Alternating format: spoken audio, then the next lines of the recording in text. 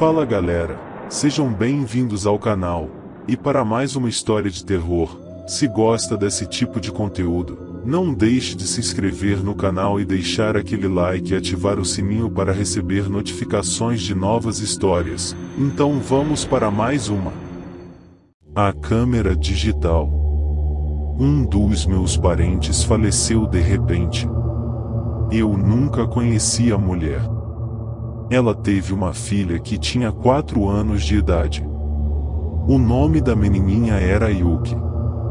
O pai dela não foi capaz de criá-la sozinha, então ele pediu à minha tia que cuidasse dela. A menina se recusava a ficar sozinha e nunca saiu do lado da minha tia. Começou a se tornar um problema. Minha tia não poderia ir a lugar algum sem Yuki. Ela constantemente precisava de atenção. Até a própria filha da minha tia começou a ficar com ciúmes. Certo dia, minha tia me disse que tinha que sair da cidade por um tempo e perguntou se eu poderia ficar de babá até que ela voltasse. Eu disse que seria um prazer, pois eu morava sozinho e assim poderia ter alguma companhia. Alguns dias depois, minha tia deixou Yuki no meu apartamento.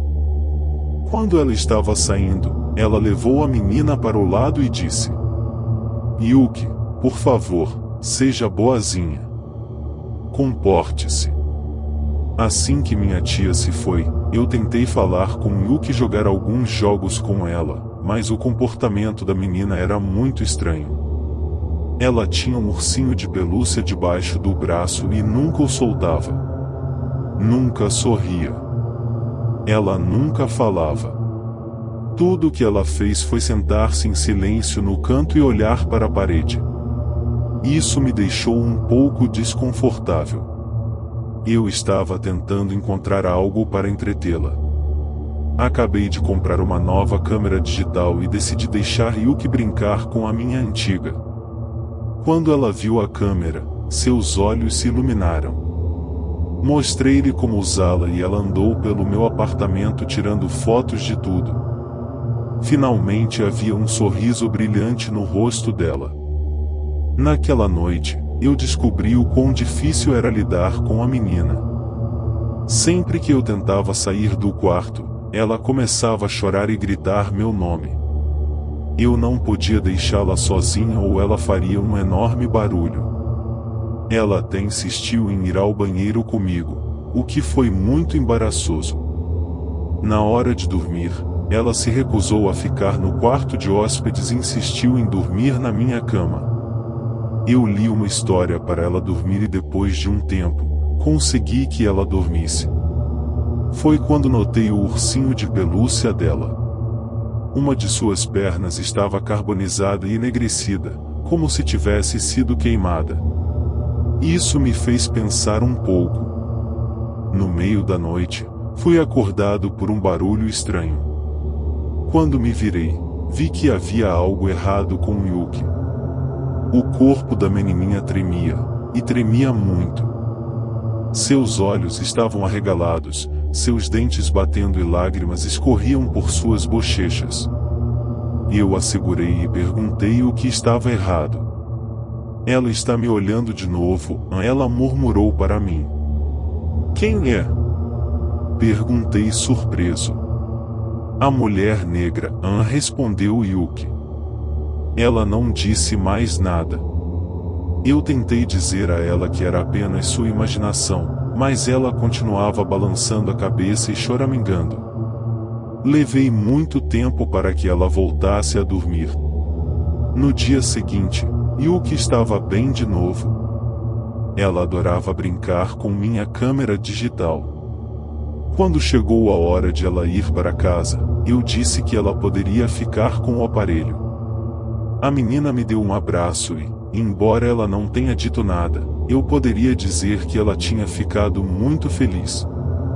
Deixei a menina na casa da minha tia e fiquei para tomar uma xícara de chá.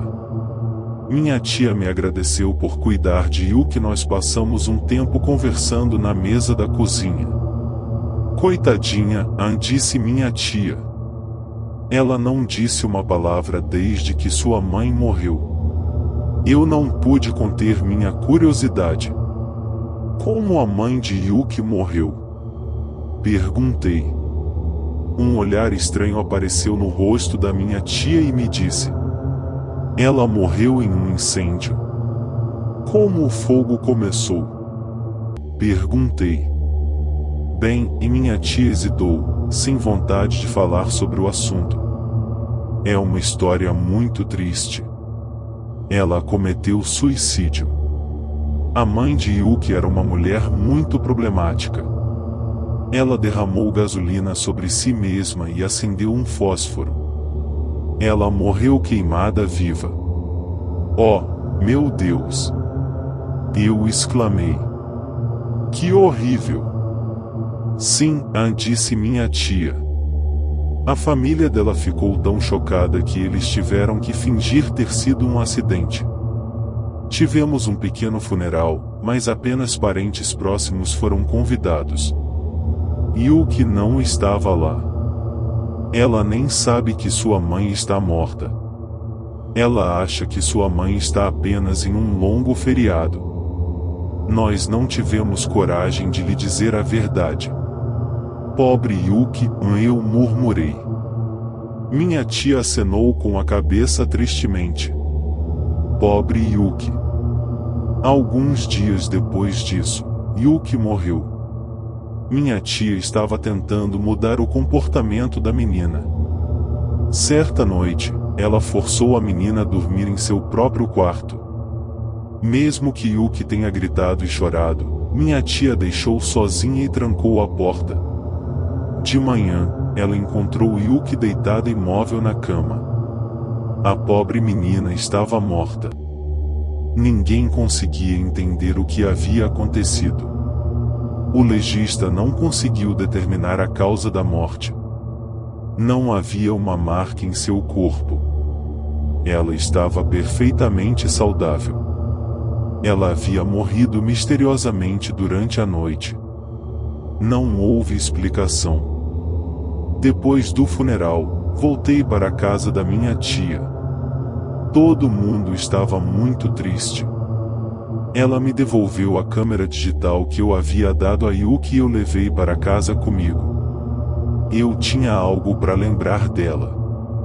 O cartão de memória estava cheio de fotos aleatórias que Yuki havia tirado. Eu naveguei por elas, enxugando uma lágrima do meu olho. Havia fotos do meu apartamento, fotos da casa da minha tia, fotos de flores, cachorros, brinquedos, doces, fotos bobas que uma criança tiraria por aí. Então, cheguei na última foto que fez meu sangue gelar. Minhas mãos tremeram muito. Eu queria gritar, mas nada saía. O registro da foto mostrou que ela foi tirada na noite em que Yuki morreu. Fim. Se gostou, deixa o like e um comentário. E não esqueça de se inscrever no canal.